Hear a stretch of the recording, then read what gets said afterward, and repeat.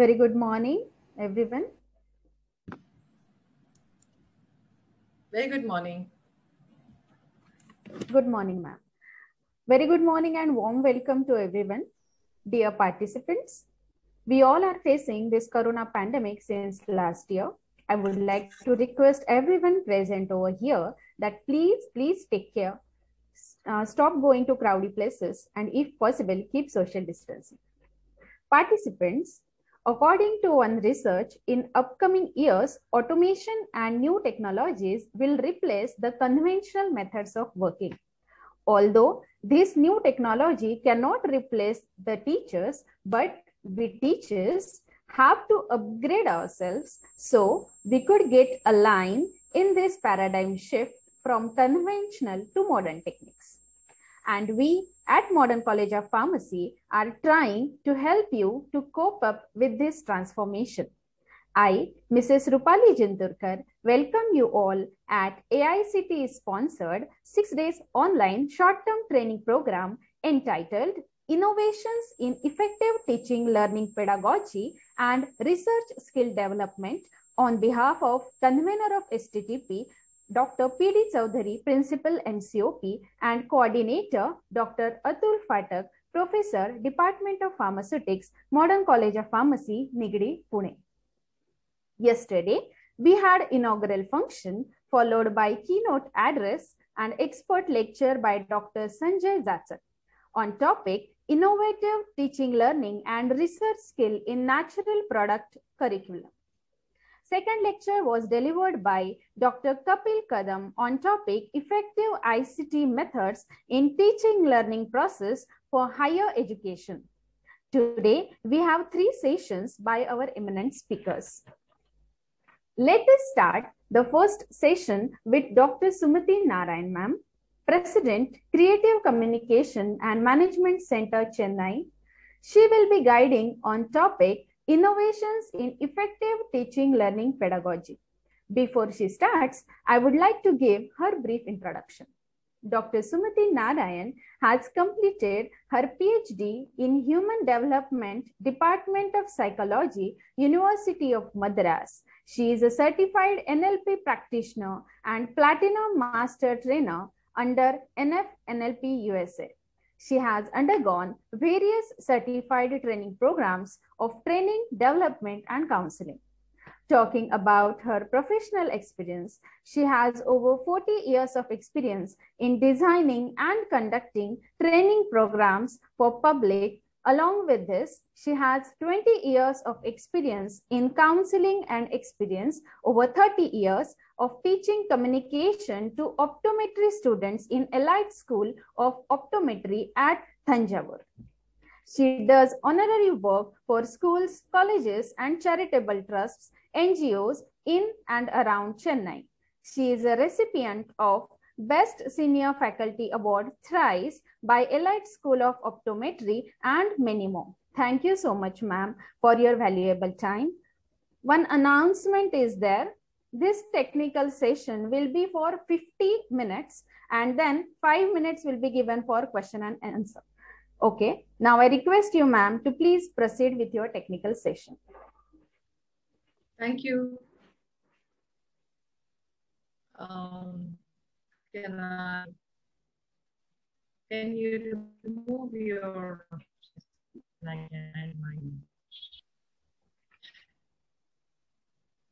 Ma'am, your host now. Okay. Yeah, thank you. Mm.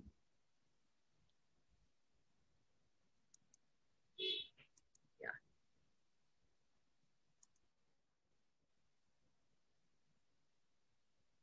Uh, usually people would keep their uh, videos off during this session. Is that how the normal protocol is? Rupali? Yes, yes, ma'am. Okay. Is there a time lag? Are you not able to hear me? Can? Okay, let me start. Mm, Can you hear me? Yes, Just give me a ma'am. up so I know you can hear. Yes, yes, you can start. Right. See, when we say teaching methods and learning pedagogy, nothing is new about the human learning, but the understanding and the way we structure, the way we understand learning is evolving and more insights and more information is coming the neuroscience field. It is in this context that neurolinguistic programming is very, very interesting and it is intriguing. So let me take you through the, uh, um, can you can you keep your video on when discussing? Now we need not when I'm sharing, otherwise when I'm discussing, it'd be nice if I can see you all. Mute your audio in Zoom meeting and use the chat box whenever I'm asking for something so that there will be some interaction. So what happens in a classroom usually? Just think about it. What happens in a classroom? Now, when we say classroom today, the classroom includes the online also because once you sign in like this, like this group, for example, we are all like, like in a classroom, except that we are in different physical locations, but we are attending a class and it's like a classroom. Now, uh, here, this is what happens in a classroom. So use chat box to indicate what you think happens in a classroom. Just a few answers. Come on. I'm keeping the chat box open because if you do not answer, then I'm not sure you're there in the session. So just, just put what comes to your mind. Just a few minutes to capture your thoughts because I don't assume none of you know anything. What happens in a classroom?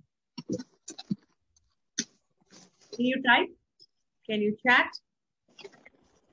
Good morning to all. Thank you, Sai, for See, if you don't mind, Rupali, make me a co-host so that the sharing can continue this jumping from the host to co-host. Just make it a co-host.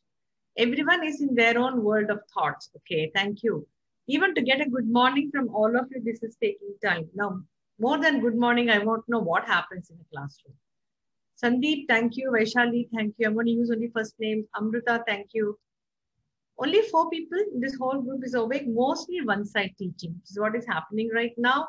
And then who else? What else? Then you're very right, Suresh, Surke.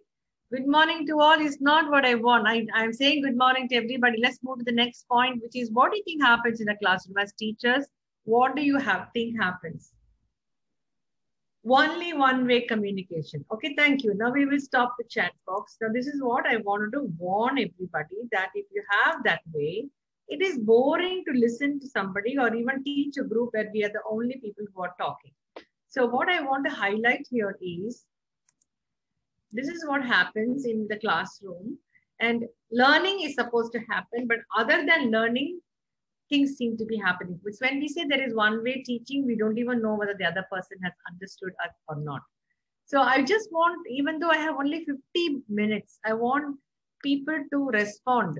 That is very, very important um, because I don't believe in teaching people um, without getting any response. Even in an online class, the last one year, that's a very important part of the way I teach, the way I share.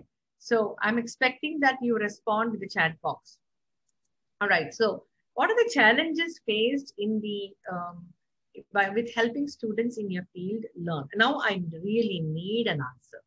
So I'm going to open the chat box and I want you to write down what are the challenges. Only no more good morning, please.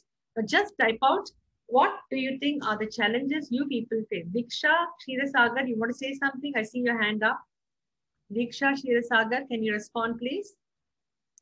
Your hand is up. Okay, attention of students. Not possible to keep watch on every student. Okay, thank you, Vishal, Dr. Professor Vishal and um, Dr. Monica. Uh, Neha, you have said keeping students engaged, interest of students. Okay um, and think more. Come on. These are the challenges that we face in a classroom. Interest of the students, keeping students engaged. Come on. Some more response. I want four more responses. Then I will proceed from there. Come on, come on. I'm sure each of you face something or the other. So can you, um, students not interested in online classes. Students do not interact. Keep students concentrated for one hour continuously. Rupali. I'm not reading out everybody's name, not getting whether students understand or not. Poonam Taru. This is what I'm experiencing right now. If you don't uh, respond to me, this is what I'm exp experiencing.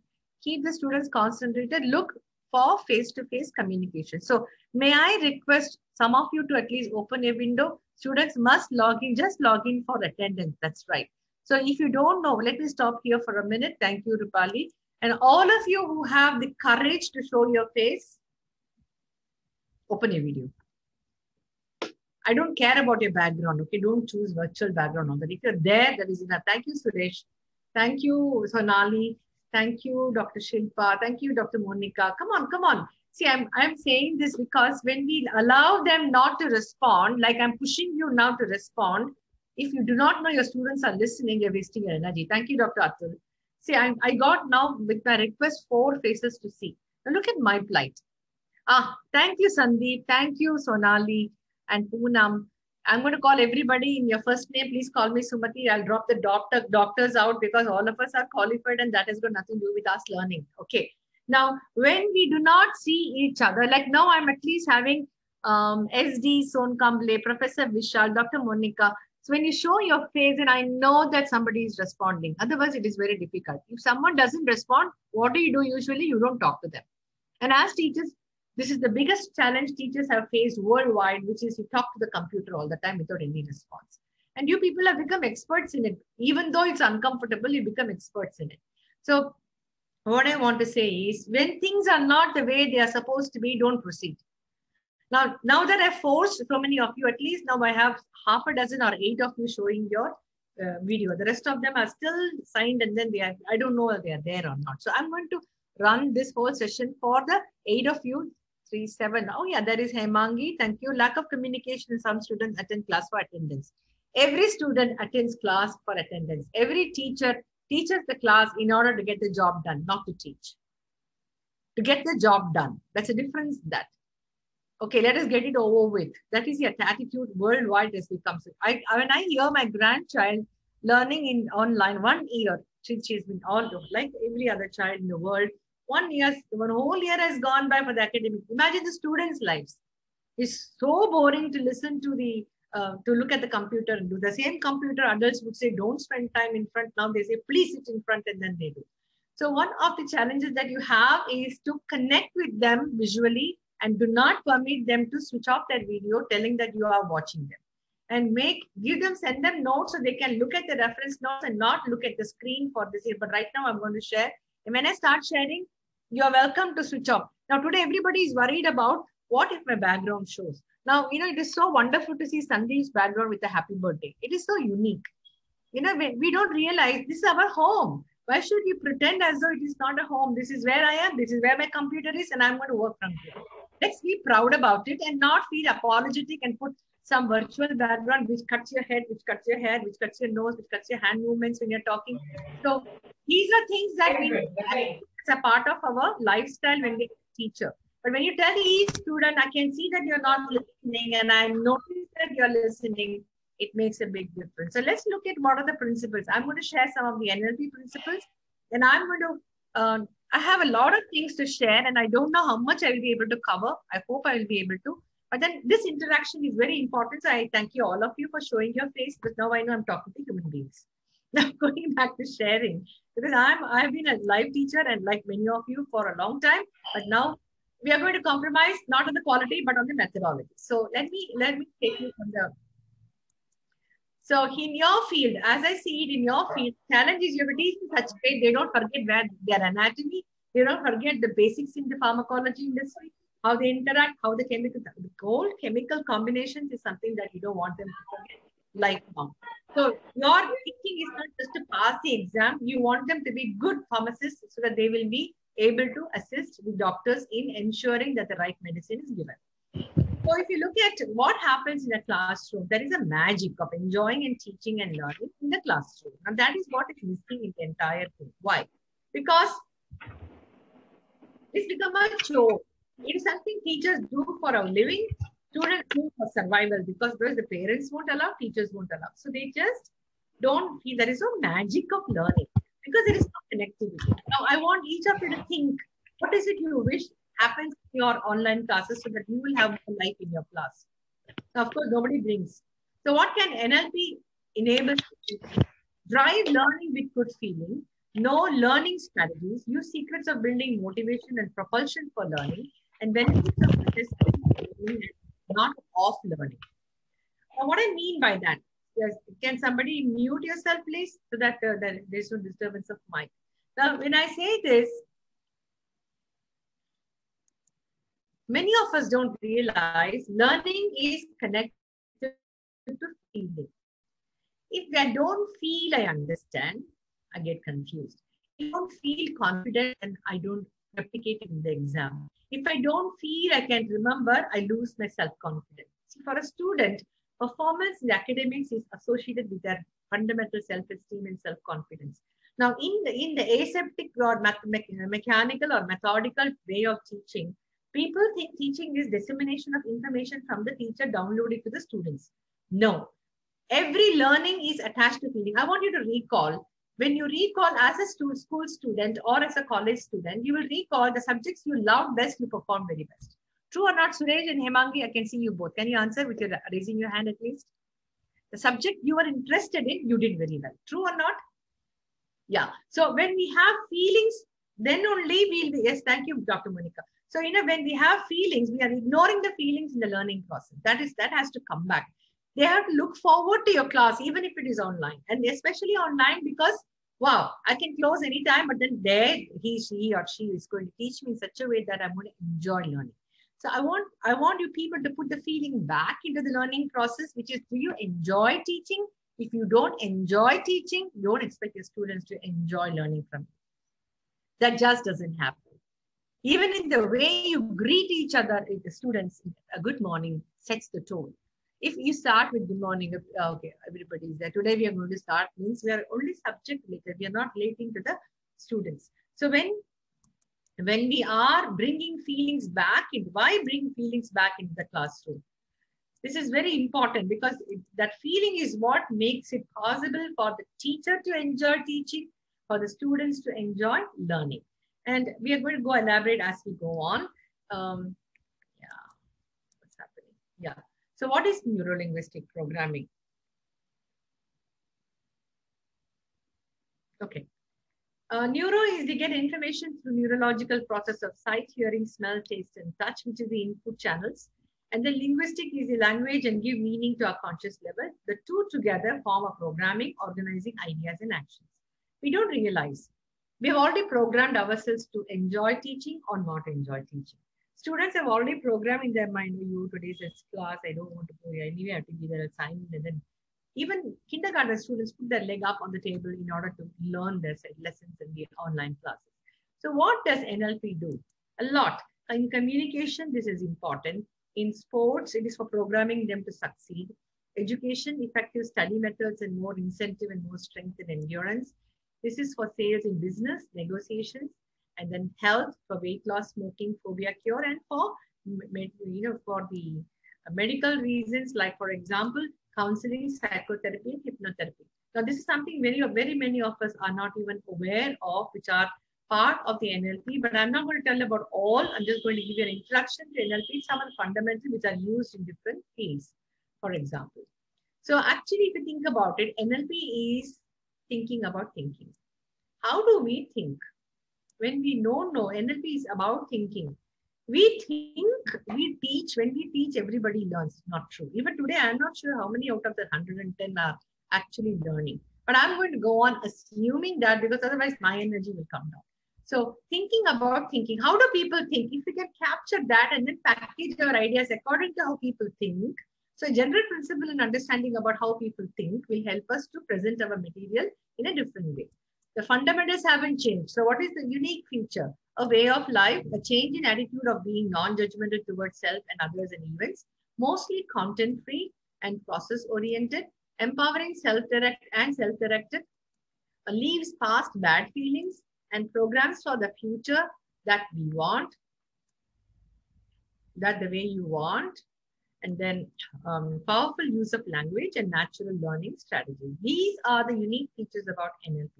Now, you might get curious and you might know, hey, what does this mean? Yeah. So as soon as you get that brilliant thought from your intelligent mind, immediately respect it by putting it in the chat box. So what will happen is as soon as I finish this, the questions will be there and it will be very easy because Believe me, if you have a question now, 20 minutes later, you may forget it or it may get answered, but it it is documented in case. And when you ask, when you download a question from your brain to the chat box, what will happen is your brain will think, wow, my owner is respecting me. So let me give some more thoughts and, kindles your curiosity. So let me see how many questions I'm going to get as we go on. So how is it useful for teachers? connect with students. This is very important. If you don't connect with students, don't expect them to learn from you. Interact and build bridges. If there is a gap, we need to build bridge. How do we build that? And then be accepting differences. Nobody learns in exactly the same way as we teach. And we also don't teach exactly the same way as each other. So be accepting of differences and change the way information is presented. And know learning strategies tune to the individual learning style. So how do you present in a way that it caters to all the learning strategies and then flow with natural neural pathways of learning. Now, we all know that there are pathways of learning, but how, what is a natural one is something we've never been taught about, even in the most basic fundamental B.Ed courses. Match different learning styles with different learn teaching styles. So when you have learning styles, you're different, your teaching also has to be different. So let's go to the originators. Uh, I'll just stop share for a minute. And are there any questions? Curious to know. A teacher also teach just wait. You're right. Lack of communication in class only for attendance. So can I have one or two questions or at least a thumbs up to say I can go on? Nisha, would you like to tell me? Suresh, would you tell me? Can I proceed or are there any questions anybody would like to ask? Ma'am means what? Okay, thank you, Professor Vishal. Now, now I'll take one or two of you giving me inputs and proceed from there. Right. The originators in the 1960s, what happened was three people got together because they were uh, working with the um, this Richard Bandler and Frank Pucelik were on an assignment to transcribe what was then popularly called as Gestalt therapy, Dr. Fritz Perls sessions in the process of doing that, because this Dr. Richard Bandler had a person in the publication industry and he wanted him to transcribe. While doing that, they became so curious because then one more person's work also came. This is Dr. Fritz Perls, who was responsible for Gestalt therapy. So strangely, NLP came from the therapy field. The other one that they had to transcribe was Virginia Satir, who was a family therapist. So their sessions were these two people, Frank Pucelik and Dr. Richard Bandler, transcribed and realized in the day of transcription that they could identify patterns of communication, which got them curious. And they, when they taught this to the students, students were able to do it, but they were not able to do it as well as Dr. Fritz Perls' way of doing it. So they corrupted Dr. John Grinder to find out what was wrong in the way they are teaching. And then John Grinder said, you teach me how to do it. I will teach you how to teach it. So he's a linguist. So the three of them got together and NLP was born. All they did was gave it a form and a structure. Then when they presented this, their mentor, Dr. Gregory Bateson, asked them to go and meet Dr. Milton Erickson, who was a paraplegic but hypnotherapist, the first in the world to be popular and taught who taught medical community about hypnosis. So they took him as one of the role models, and then NLP was born. So if you look at what is NLP, what they identified was these therapists do not use medication to help their um, patients or clients. They only use communication. So what is so different about that communication? That these people are able to change their client's life dramatically. So that is what made them curious. You see, curiosity is a very, very important part of learning and teaching. Are you curious about how your students are learning? Are your students, students curious about the subject that you're teaching? it is better that they're curious about the subject and not about you because that can lead to personal questions. Now, however, now this is where it was born. So when they analyze, the communication seems to be the crux of the matter. They say, let's identify what makes it different. So then what is NLP? In two sentences, please memorize this line because this is the fundamental. It is a study of excellence. They, they went and studied these people and many others subsequently and understanding the structure of subjective experience. How do each person experience in their brain is something very unique. And when we teach, it is their subjective experience which makes somebody learn the subject easily and another one feel bored about the whole subject. So it is their own subjective experience and people can alter that, it change their life dramatically. So as you go on, I'll give more examples. I just want you to put in the chat box. Can you can if you want you can photograph this and tell me how many steps are there. Put it in the chat box. Yes? How many are there? Come on. Count and tell me. Four. Okay. How many are there? Four. Four. Four. Great. Are you sure Great. Now look.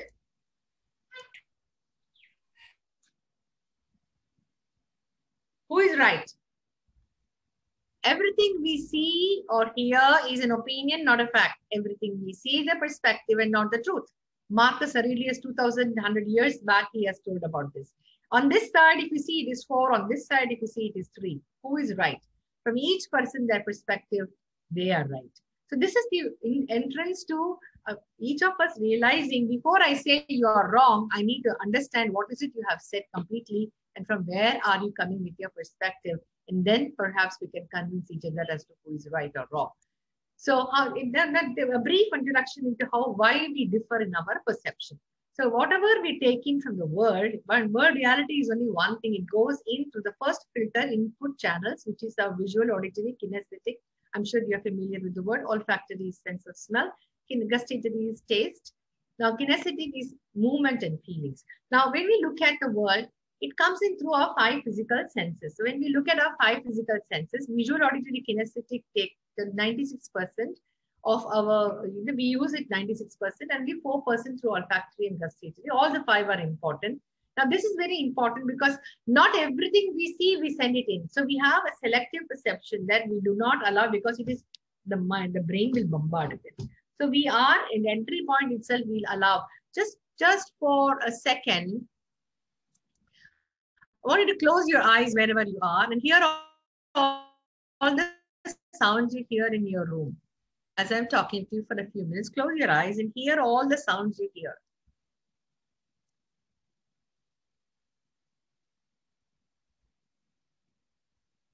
Right. Did you notice sounds that you were not aware of earlier?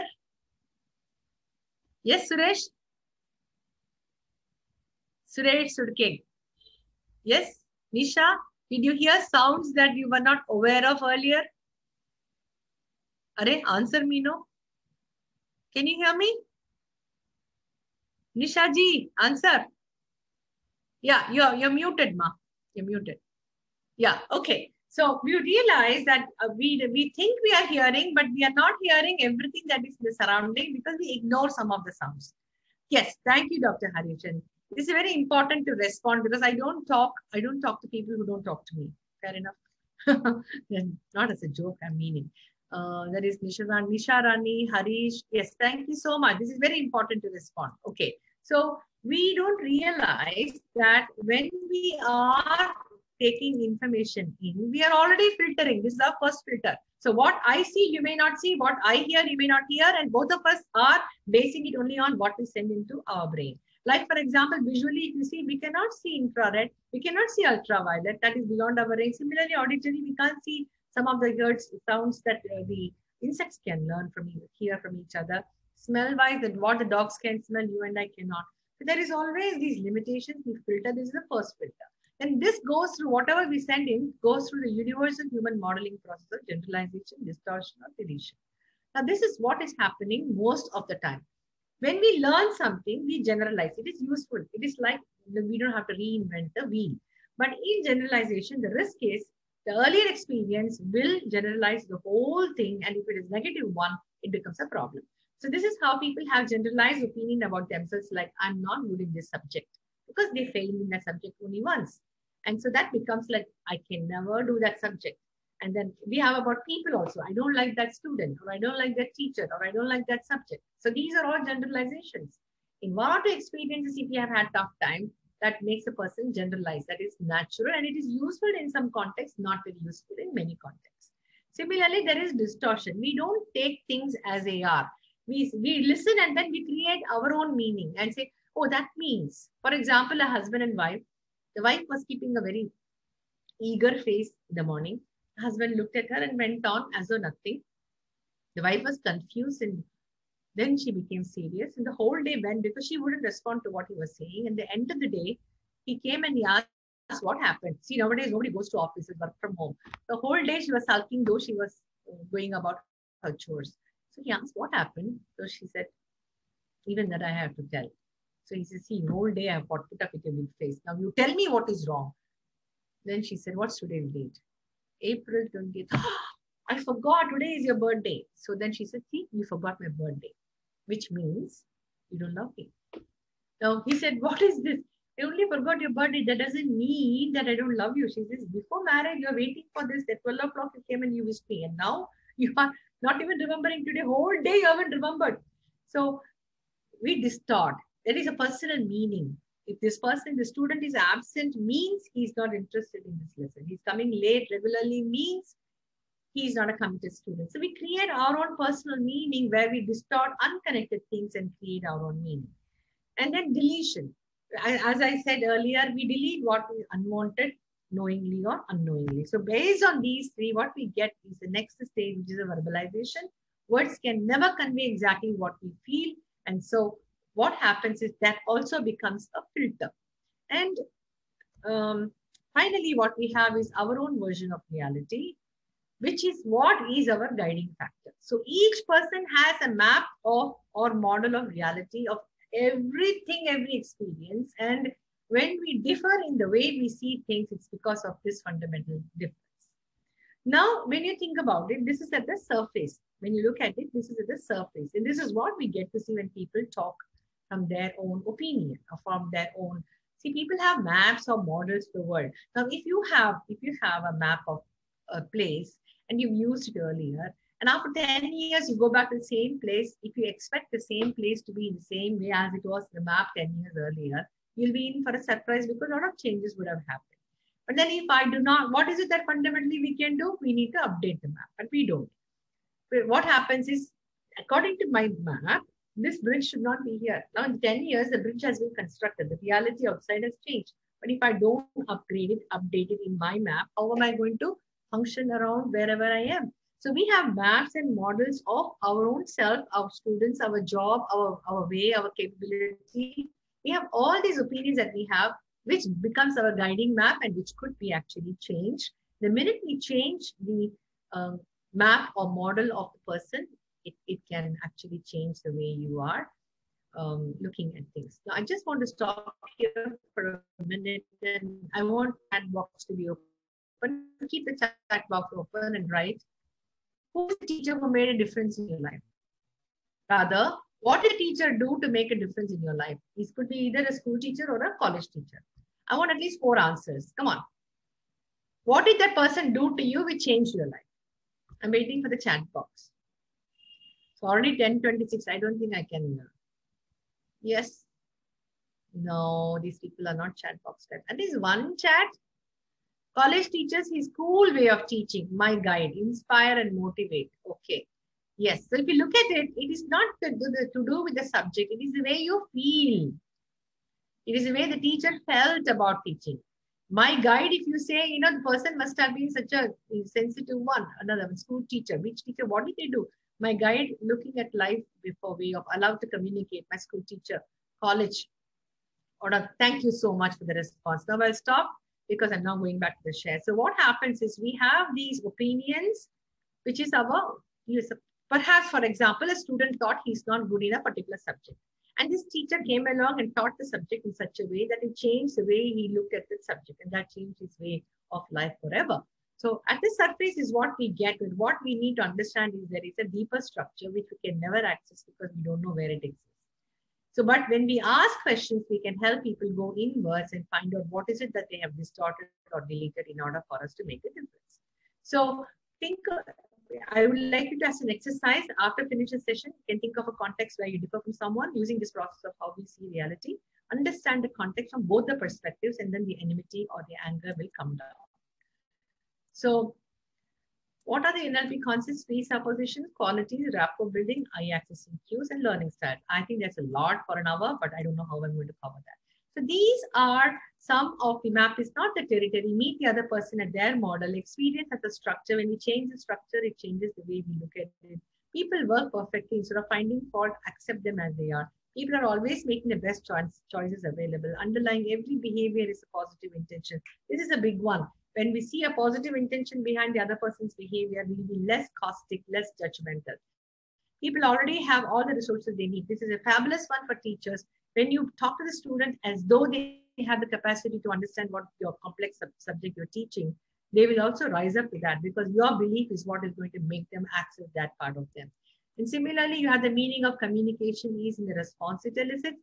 People communicate at two levels, conscious and unconscious. Consciously, you're teaching probably the parts of the body or a metabolism, but then uh, uh the um, what what happens inside is their their competence in their own self, their confidence in their own self is the unconscious level that you're addressing when you build that capability. And there are no failures in communication, only outcomes. If the way I'm teaching is not reaching, getting the results, I need to change the way I'm teaching because I'm getting a feedback saying it is not reaching. The person with the most flexibility will control the system because unless you're flexible, we cannot have the same package for everybody and you cannot not communicate because it's impossible. So what are the qualities of great communicators? One is rapport. Unless you have rapport, it's very difficult. Then uh, clearly stated objectives. For what do you want to teach? What is it that today you're planning to teach? Even that is a clearly stated objective. Use all the senses and then use flexibility.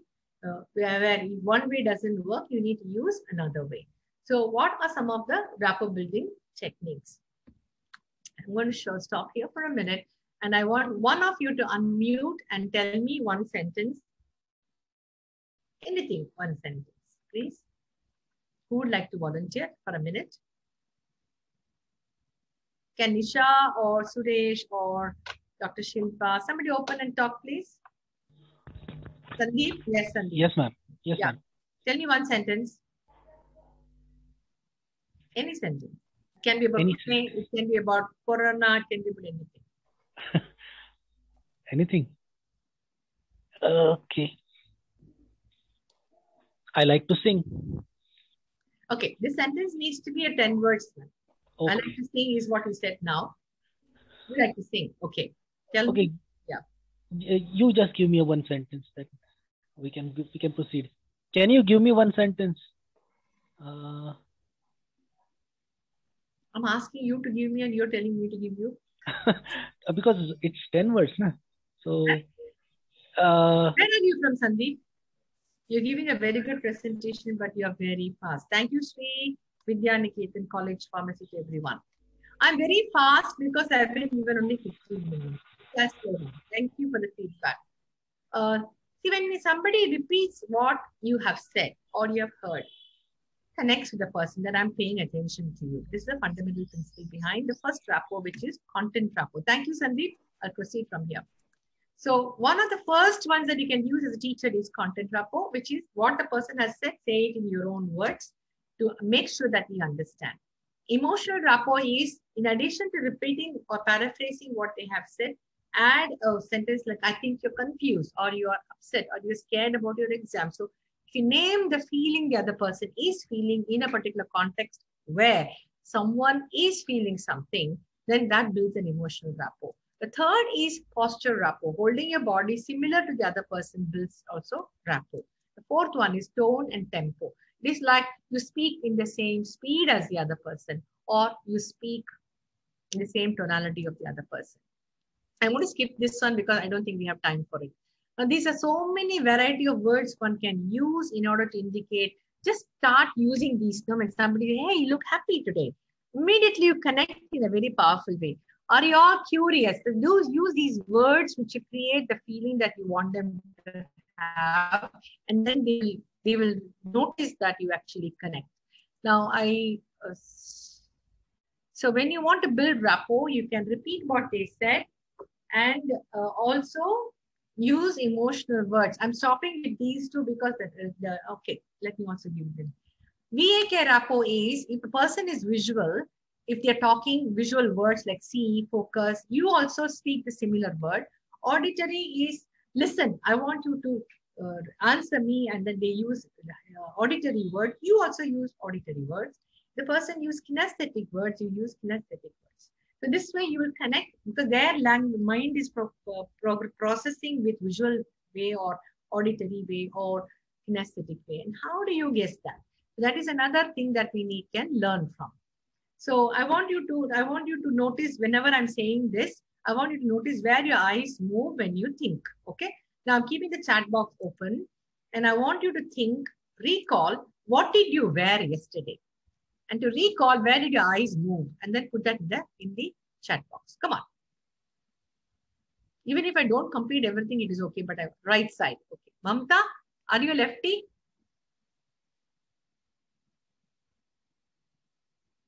No, ma'am. Okay, I want you to recall exactly what you wore yesterday and then come back. Reshma, left down. Okay. What did you tell yourself, Reshma, instead of seeing yourself straight ahead? Did you see yourself on the sky? Okay, and we looked up. Most of you, what would have happened is now I'm going to start see yourself. I'm only asking where your eyes move. Um, but now I'm going to stop the chat box. When your eyes move, like for example, now each of you think of an elephant. Where are your eyes moving up now? Elephant. Immediately it'll go up here like this. Then look at watch my eyes now. This is how it goes. Let me explain to you. When we visually remember, the eyes go left top. When we visually reconstruct, it goes right top. And then when we talk, when we hear something, it goes horizontally left. And we create something auditorily, it, it goes horizontally right. And then this is the view, one's own uh, left and right, okay? And when we access our feelings, the eyes go right down. And when we talk to ourselves, it goes left down. So somebody wrote there left down. What did you tell yourself when you are looking, when you're talking? That was what was the question. So just to put it on the perspective, visual remembered, people go left up. Visual constructed, right up. And this is very interesting because it's like a third eye. You can talk to anybody and they, they look up, look here, look there, they're accessing information. And these are the ones that will help you to know where they're coming from. If somebody's up, then they are visual. They're listening to that, their eyes will be horizontal like that. And then we're accessing feelings, their eyes will be down or they're going inward. So accordingly, you can use the language to match. So uh, up to the right is creating a picture of something never seen, creative visualization, possibly lying or making up a visual. Up to the left is remembering a picture or image, recalling a scene witnessed.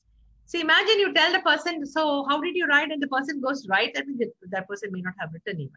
So imagine auditory is to the right. Imagine one sound morphing into another and things like that, making up a tune. Auditory memory is remembering a sound, recalling a tune previously heard, or remembering a poem. And feelings, when people's eyes are down, that means they're accessing their feelings. You can be very sure either they're left down talking to themselves or right down accessing their feelings. So accordingly, you can use your language. So now I'm going to move, move to the next subject of meta programs. People learn in different ways. Either they learn towards something or away from something. Why do you study? I want to pass my exams is one choice. Another answer is I don't want to fail. So I don't want to fail is away. I don't want to pass is towards.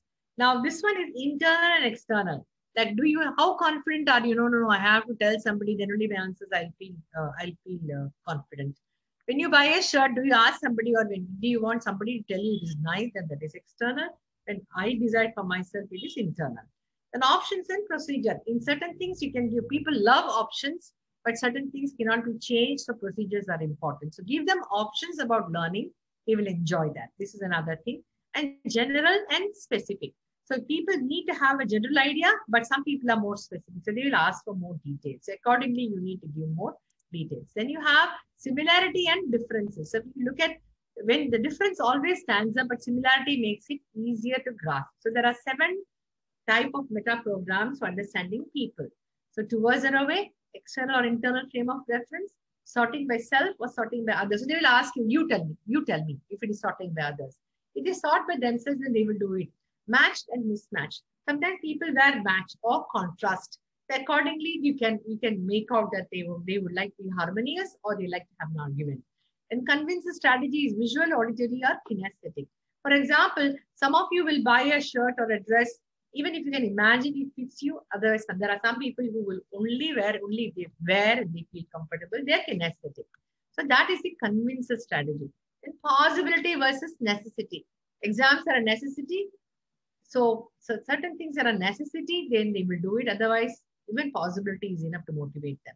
Independent cooperative and proximity working styles like some people can work independently.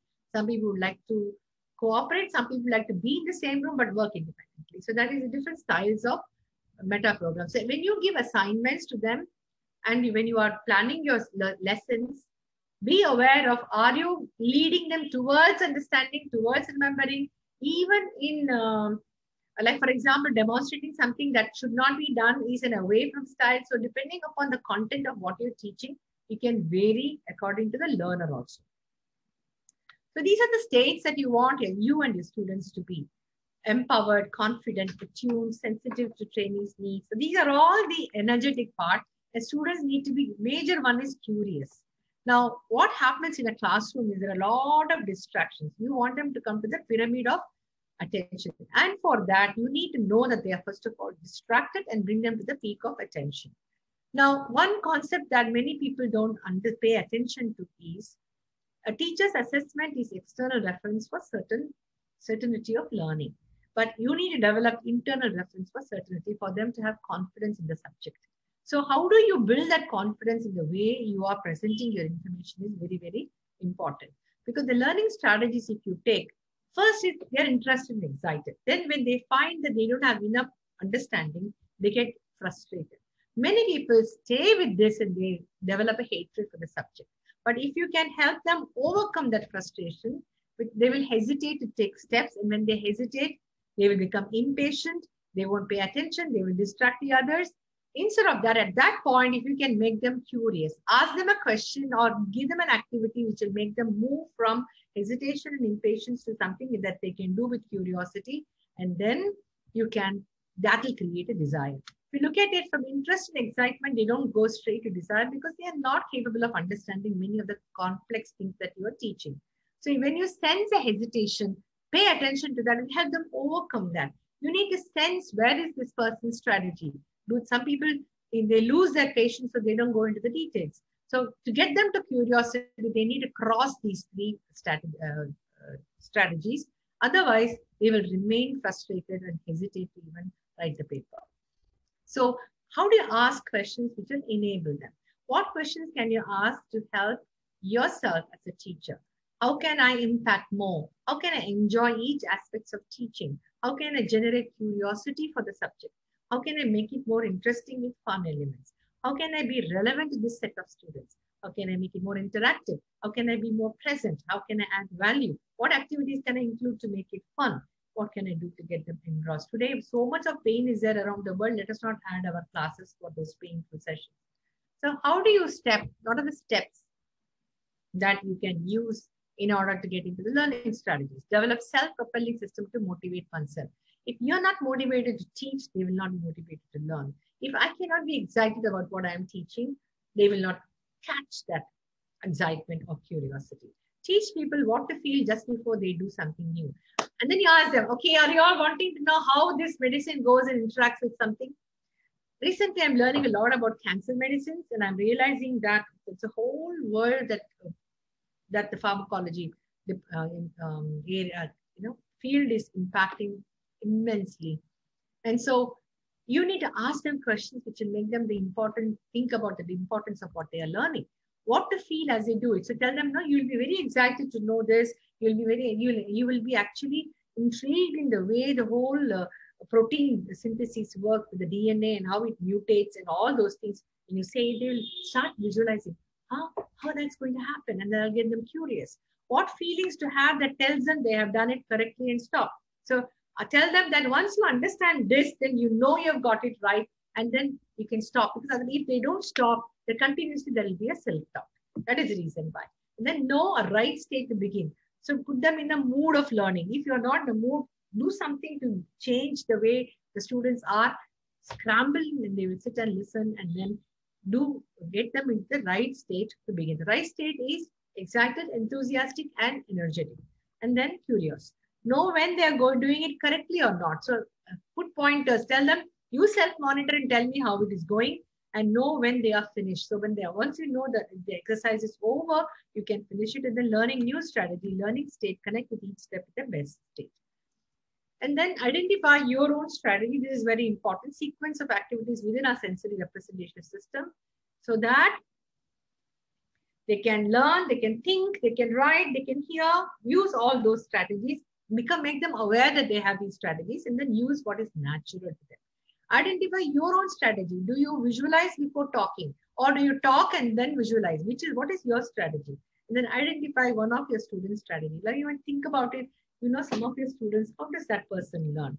So then eight ways to grow as a teacher. Start small, start straight away, and then right away start set learning as a system. Reflect, reflect. Have I done a good job or not? Collaborate meaningfully. Listen to students. stay curious, and celebrate learning. I'm going to stop here for a minute and uh, ask yourself, is there anything else that you want me to? More than that, can you put in the chat box something you're curious about? So I know, I know that we are going the right direction. Okay. Uh, fine. Just a few more points that I want to talk about words and their impact on uh, the learner. We don't understand that words have a lot of power to impact people. Energy and power with the ability to help, hinder, hurt, or to harm, humiliate, and to be humble. So considering the powerful force the words we utter, so in your words, never put down somebody, never question somebody's intelligence. Like I remember when I went to a college to give a talk, the teacher said, Sumathi, this is Dr. Sumathi Narayanan, she introduced me. And then she said, here's a sack, eating a sack of potatoes here, who was saying that they're students. I, I, I wish you all the very best to handle it. What a derogatory statement a teacher is making about her students. So I looked around and then I didn't speak a word. Then she said, What happened? I said, I'm looking for the potatoes. I don't find any. The girls, the students got joke. And then the teacher said, No, what I mean is the students are like. I said, I understand. I, I would like to start, uh, talk to people who are live and, you know, I just change the state of their thing. So here are some things that you can use with your students. You are a star student. You shine. You make me smile. I'm so proud of you. I believe in you. You are unique. You have a great attitude. So these kind of statements, three, two, three words from us can actually create that enthusiasm for learning.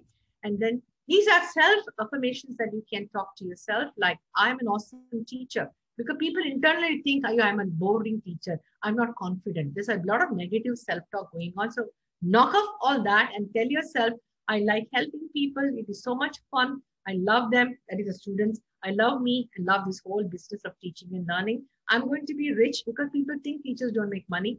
I do teaching easily and naturally and powerfully. I inspire my students. I yes, yes, yes, say yes a lot more than no, no, no. And then I command my subconscious to pay full attention and take in all the teachings. I add value to people's lives. I light a spark when I teach. I do my best. I'm the life of the program. I'm empowered and empower people and I connect with everyone. Now, these are some of the things that you can light, light up lives. You don't, when we, and when we look at it like that, each student who is your in your class has a potential to go and run a shop and be a very important part of this medical fraternity. And that is what you are uh, you are making your students become a part of. So there are so many like that that you can resource like flow with these. Look, look at your internal dialogue, which makes it detrimental to you and change. And then you can spot them in your students and change that too. So this is my name and my number. You can take the contact details. I'm sharing this for you for your reference in case you want. And I need to close exactly in 15 minutes. Thank you very much. So now I am you, I'm open to questions from any of you.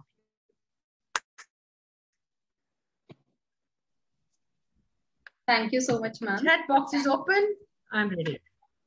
Thank you. How accurate is this, ma'am? So what is this? There was this question. How accurate? HU to me. How accurate is this? What do you mean by this HU? Can you unmute and talk, please? Uh, how accurate is what? HU. Who is HU? Rupali, somebody was asked, who has asked me directly, yes. uh, is this accurate? I cannot. Okay, don't unmute. But then write down, this is what my name is Josefa. What is you mean by this? Josefa, thank you all for all the nice words, but I want questions. I want questions. Anyone have any query? Ah, okay. That's a very good question, Josefa. Let me explain. This is for a stand, normal left, I mean right-handed person for whom this is how it is uh, this is true for a lot of the whole world. A lot of cross-culture studies have been done, and only the pure left-handed have reversed. and they may not be in all the areas also. Number one, and number two is only one tribal community where this doesn't apply. Otherwise, it applies for all human beings. Thank you, Josefa, for asking this question. And you will be asked when you are having your tea. Okay, how to cover subjectivity for every student? in 70 class. But the beautiful thing is that 70 people that class in the list, the attendance sheet. Do you know each of them? Don't know each of them. How will you connect? So even since you have a whole year, in a day you connect with five people, no five people. In about a month, you will learn who they are. You'll be able to know where. Can you please ask Dr. Arun what did you? Dr. Arun?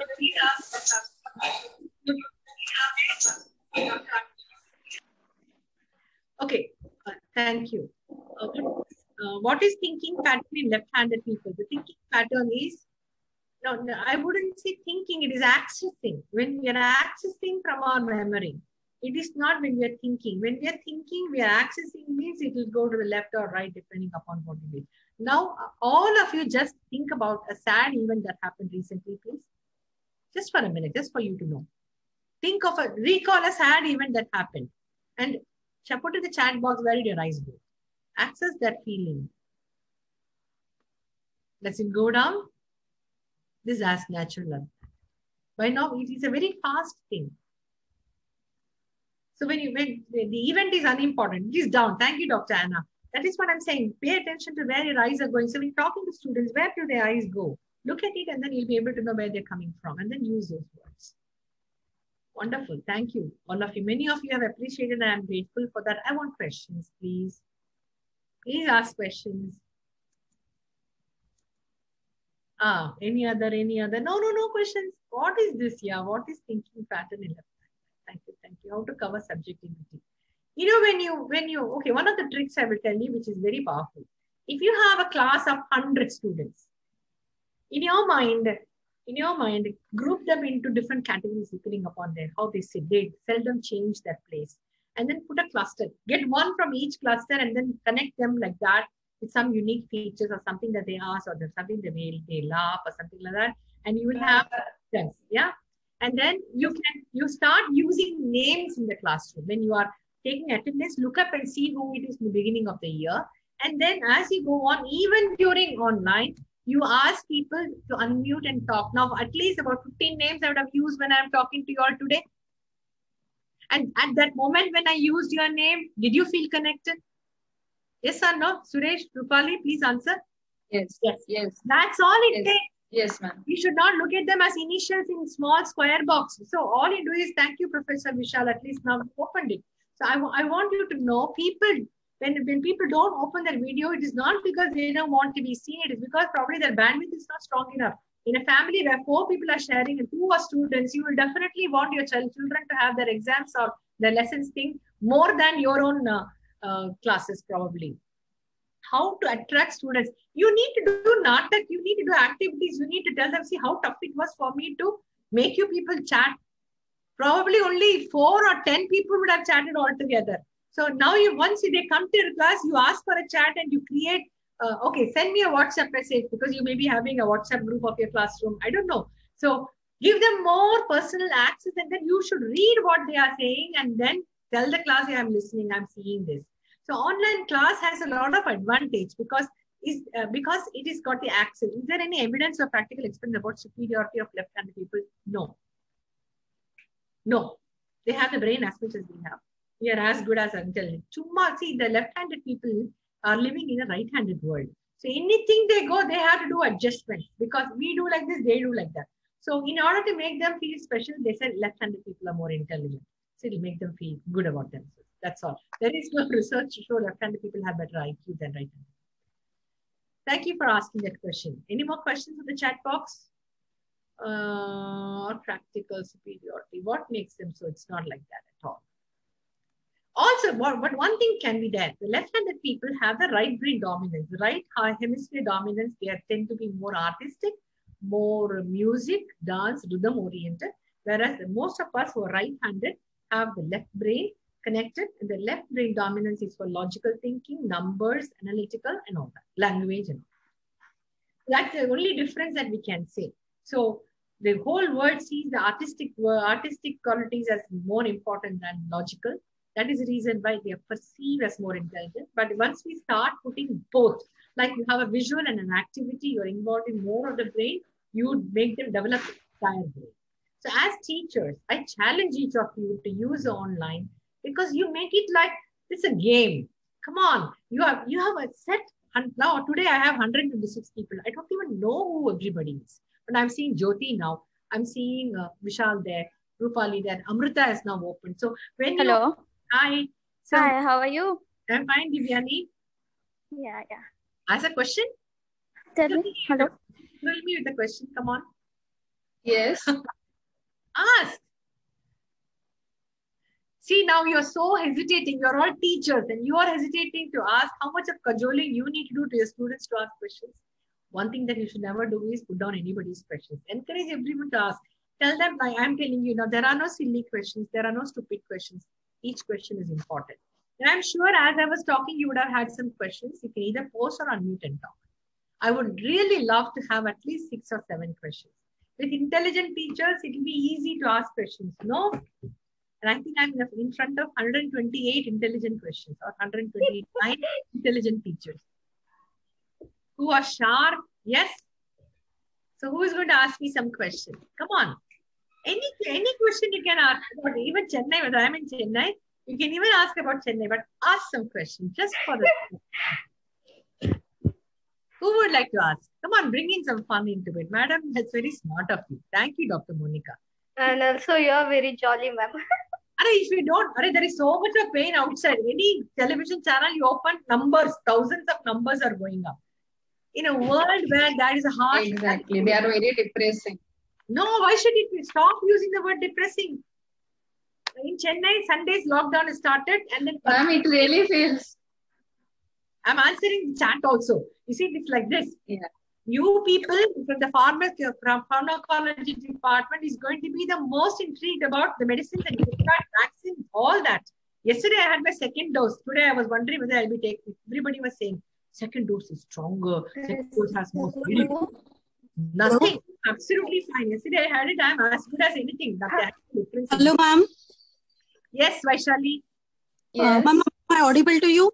I am. You are. Okay, ma'am. Uh, very good Yes, morning. And, uh, ma'am, thank you so much for your nice and uh, very interesting uh, session. My question is uh, how to concentrate on the students who are not interested in studies. Ask them why they're not interested. We never ask them why you're not interested. There was one more question. How do you move a student from a lower, what is it? Slow learner to advanced learner. Now, I just want to say this. Never use the word slow learner because slow learners would not have passed 12th and got admission in pharmacology. Okay? This is number one. In, in your college, they won't get admission. Please not the brain all the time. Divyani, Divyani, Divyani, mute karna bhai. Please mute. Thank you. See, it's like this. Uh, when I, when you tell a student you are a slow learner, slow learner is a technical term like idiot. It's IQ level. You should never use that word. Use this like you're you're slow you're you're taking time to learn. Why do we use the word slow? Say you're taking time to learn. Is there anything I can do to make it faster for you? That's a teacher's role. And not categorize in the mind this person is a slow, that person is fast. Everyone has an awesome learning mechanism. Your job is to activate that so that they will feel exactly what you're learning. Yes. If you don't make, if it is like this, if you make the dish, if, if, a, if a chef makes the dish so complicated that people find it difficult to even touch the dish, that's not a good chef. So you are making food for thought, the way they, they have to understand this subject. So present it in the, even the most complex processes, you present it in, in a very simple way, which people can understand and retain because they have to reproduce it for life. Then what will happen is your thought behind every presentation makes it like a chapa in their mind that they, they will never forget. Thank you. At least some questions. Thank you so much. Ma'am, thank you so much, ma'am. Absolutely, I will remember all those things. Thank you so much. Yeah, and uh, let me just check that very anybody has uh, no no other question has come in last few minutes. Thank you very much for the opportunity, Dr. Atul. Are you there? Yes, madam. Yes. It, it is a really, really very interesting and interactive session. We all are, uh, we have enjoyed enjoyed this and we have learned a lot. So definitely we'll try something, this type of uh, very interactive uh, things in our class also. Though it is online. Yeah, you, you can have quiz programs. You can have quizzes like that, and then let them go put a Google form and they will fatapat answer in the that. Yes. Use the form instead of Shatru, usko apna dost bana dena. Yeah. Uh, Dr. Atul, can I see you? Yes. Thank yes, you, Dr. yes. Moni. Yeah, can I see you before I say bye to the whole group? Yeah. So thank you. We have been communicating from January and it's so nice to come to Yeah. the point when I could deliver this. And I have made it very brief to be very frank, but I didn't know how else I can make it. But I want you to understand if people don't interact and talk to you, don't talk to them. As a teacher, you can demand that they can keep the video on and they have to talk, they have to chat. You know, today I left 100, and, uh, 100 of you scot free. Only about six to 10 people answered. But I'm saying okay, there's a limitation here of time and all that. So I mm-hmm. uh, addressing people by their name is your USP, ma'am. Thank you, Dr. Anna. This is very important because people love to be acknowledged. And your students are yearning for Yes. it. If you are just another window in the in the online class, you are not you're not going to be remembered. If that was just a window. But you look at the window and then say, Nisha Rani, where are you? Rani will get up and put the video on, hopefully, because she hasn't yet done it. Now, this is how you wake up people Yes. tell them हम नहीं छोड़ेंगे हम नहीं छोड़ेंगे कहाँ है आपका ध्यान चलो चलो चलो where is it and then you will feel that the students are like अरे this person is not going to leave and make it possible for everyone to participate make it possible for everyone to feel yes I can also speak in this whole class put them in the Zoom rooms if you have Zoom classrooms put them in small classrooms go visit every classroom so you get them in bunches of two or four whatever is possible use technology to teach your subject, which is very exciting, which is very data oriented. They cannot have opinions about it because the subject is on accurate. No one can even change the milligrams. It will become disastrous. So you're teaching a very heavy subject. Enjoy it and teach it. So they will realize that they are doing a very important job, even though they may be um, only running a medical shop. But then you make it sound like you are the guys who are making the doctors successful. Isn't it true? Yes. Yes, yes. doctors cannot function without all of you. That is why all the uh, all the pharmacy companies, people come and make presentations, give them samples, telling them even even what that person who is selling the medicine knows, the doctor doesn't know. That is a line you people are getting into where you are complimenting the doctors. So I wish you all the very best, the very best, and then I am so happy and grateful that I could get this opportunity. Thank you all very much. Namaste. Thank you so much, ma'am. I'm sure all participants will definitely get benefited in online teaching specifically. I request you, ma'am, to please accept virtual bouquet. Wow. Thank you.